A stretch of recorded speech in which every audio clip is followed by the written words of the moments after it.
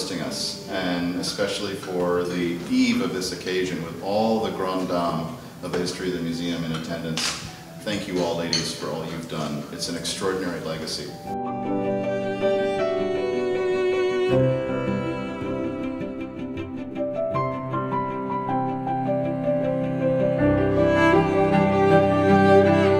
I'm Natalie Lee. My nickname is Shotzi, and that's what I'm called. And Emily Hexter and I were co-chairmen of Tlaloc's Frolic in 1968. And Tlaloc was a Mixtec rain god. You know, it's a big incense burner sort of ceramic piece that came into the museum in 1967. And he was situated in front of a curved screen, and there were raindrops from crystal chandeliers that were coming down and raining on Tlaloc. And of course, everybody remembers that it rained for the for the uh, party, but I'm not sure that it did. The professional photographer, who was also a friend, uh, forgot to thread the film because the film went through the camera in those days. So we only had what the newspaper people took afterwards. I was back in the 60s, I think, but I think the early 60s. No, I just remember that I'd recently gotten married and that it was a lot of responsibility. it felt like a lot of responsibility, uh, but fun. I had a, a ball for all seasons because we had a lot of trouble getting people to donate things. And Merrill Rueppel told me that the amount we uh, earned for the ball was going to be the total amount that they would have for the collection. And he had in mind a Cambodian piece. And we did make quite a bit of money compared to what had been made before. And Merrill bought the Cambodian piece, and I think it turned out to be a fake. we can't remember. We can't remember the date, but we remember the country we represented, and that was Mexico. Mexico. And we were thrilled about it. Our favorite and part was the mariachis. The mariachis. all the art. We got, went to Mexico and we got all this art donated. And a lot of the artists came. We had lots and lots Mm, of fun doing it, of fun. and we wore the same dress, and it was designed by Armando Mafut. Uh, that is the very first time I'm sure that ball chairman on purpose wore the same dress. 1985 was only the second year we had moved into the new building. I flew to Chicago, had a tent company make a tent for the outside so that it could be served. I had sent everyone that was a um, donor a little small canvas, and they were to paint that when they came in that night. And then we made the big frame that everyone fitted their frame piece of art into the great big frame. It was wonderful. It was around the museum for years, and I don't know what happened to it. We raised the big, great amount of $306,000. In those days, we were all so proud, and that was like a lot of money. You know, everything practically was donated. I was 1994 Beaux Arts chairman, and that was right after the big campaign to raise, at that time, $10 million for the new addition. So I came in after the big campaign and couldn't solicit any of the big donors, so I had no money. Literally, I had no money. So, in order for do the decorations, I went to the Art Magnet School and asked them to perform my theme, which was America the Beautiful, and they would do themes in the history of America. And they did their own costumes. I went as a Statue of Liberty. And a lot of people did wear costumes back in those days. They came in America costumes. So I went as a Statue of Liberty, and I still have my dress. It was 10 years ago, and the theme was an African mosaic. The highlights were just the total decor and the art that we utilize. Rosalind worked with us, pulling things together, and I, it, it was just a spectacular evening. And, and we incorporated the continent of Africa. So the, the tent was um, Morocco and we had rack of lamb that was roasted outside on grills. The food was great, and it was just a fabulous evening. I'm Noreen Haynes, and I chaired the ball. I think it was in the 70s, like 1976 maybe, and the theme was Elizabethan England. The Museum League uh, members did everything. You know, they did the decorations and and uh, all the planning, and it was a very fun kind of thing to do.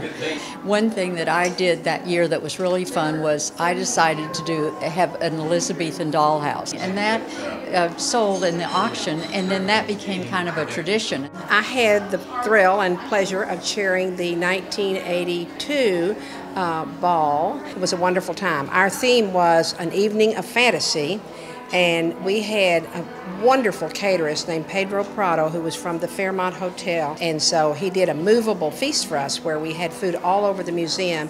And you know, that of course couldn't be done in the new museum, but in the old museum, uh, we had liberties. Gail and I thought about coming as um, Pegasus, uh, the flying red horse.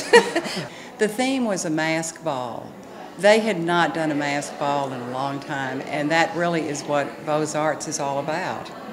It was the lighting, and it's the sort of lighting that you would have at a Beatles show or a, you know, all these contemporary shows with all these colors and sweeping, and the barrel vault has never been quite like that.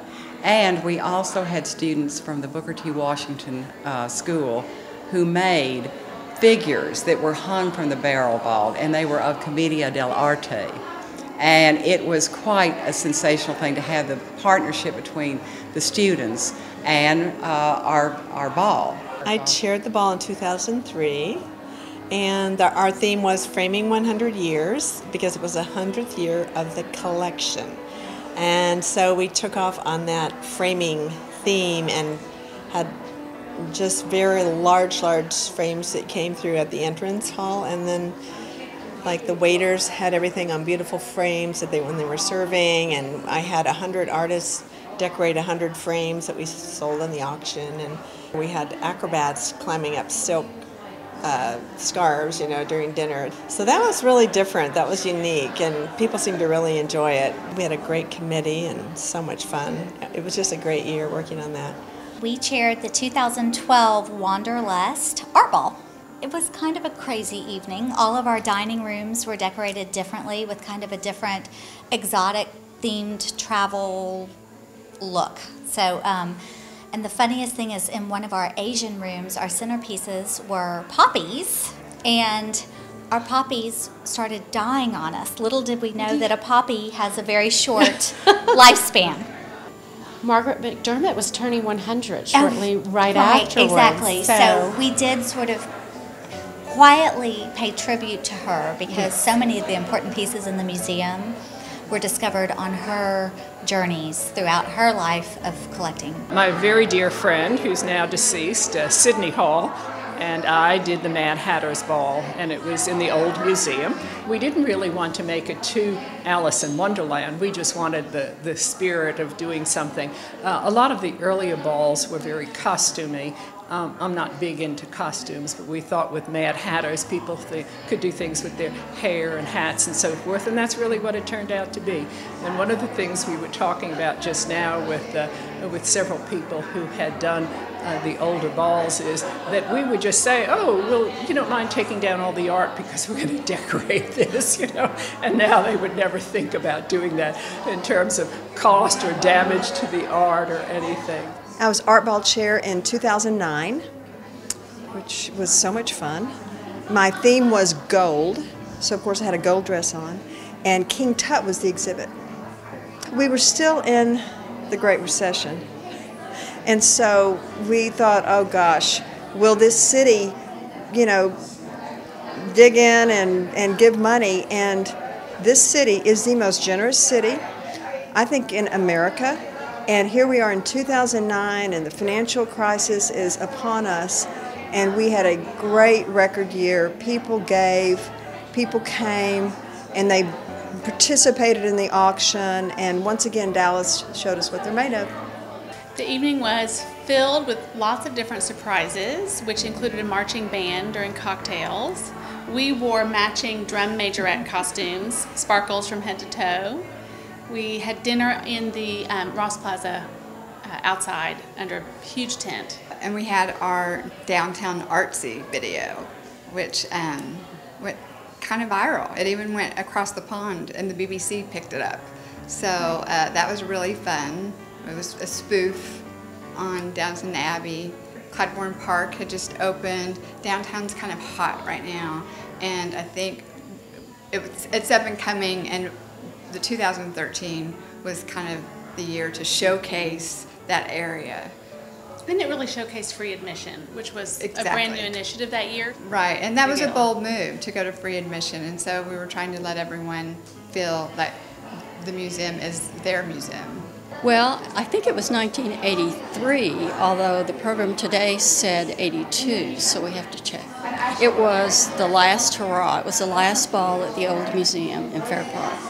And all the decorations were done by people in the Museum League. It was a much smaller event in those days. Well, the theme was just goodbye to the museum. So. I'm Jean Marie Clossy, and I chaired the ball in 1995, and my theme was Indonesia. And I think my most important memory was the fact that I realized right away that I knew nothing about Indonesia. I only knew that the museum had an extraordinary collection. Lloyd Taylor and Paxton Gremillion had a beautiful antique studio here in Dallas, and I knew that they could make the ball enchanting but they'd never done one and I didn't think they'd ever do it. So I made an appointment with Paxton Gremillion and I went over and he said, oh, Jean Marie Clossy's coming to see me. I know why she's coming. She thinks I'm going to do the decor for that ball, and there is no way I'm going to do the decor for the ball.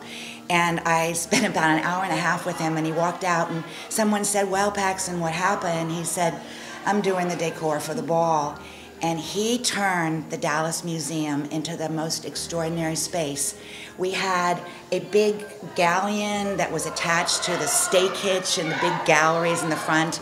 We turned, um, we had orchids everywhere. They brought in a lighting designer from Indonesia who had just lit the Jakarta Museum. And he lit the DMA, and it was truly extraordinary. And we had the Indonesian ambassador and all these dignitaries, and it was an amazing night, and I will never forget it. Oh, the year, this is hard. Already. 1984, I remember that. Right. Great beginnings because it was the first art ball in the brand new museum. I'll tell you a very fun thing about that year because it was great beginnings and the Brancusi egg was our theme. We had artists, we gave them ostrich eggs to decorate and to make a work of art of, and then we sold those. And one egg that I really, really wanted, and I told my teenage daughter, I said, You bid on that egg. I want that egg no matter what, no matter what you have to pay. I want that egg. And she kept coming back to me and saying, There is this woman that's bidding. Every time I bid, she bids. And I said, You go back and you get it. Finally, she came back and she said, She's just standing there and she keeps bidding. And I went over and I said, Who I said, Who is it? And she said, Her name is Mary McDermott. And I said, You can't outbid her. Quit bidding.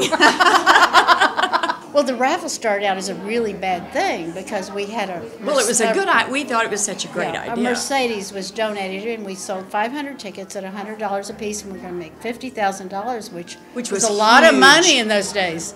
Okay, that's how old we are. We sold all the tickets right away; they sold out, and Dee Dee and I were in Harry Parker's office with Dick Haynes, who was the museum of Haynes and Boone, who was the museum's um, lawyer, and he looked at us and he said, "Girls, you all have committed a felon.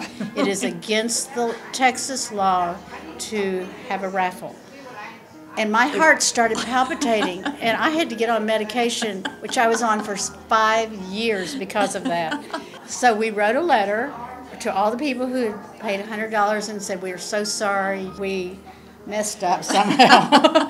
and we would gladly give their money back. And no, I can't remember one person that asked for their money back. So we had the fifty thousand dollars, and we still have the car, which we auctioned for another fifty thousand. so that was the good news. We made a hundred thousand instead of fifty. Right, right.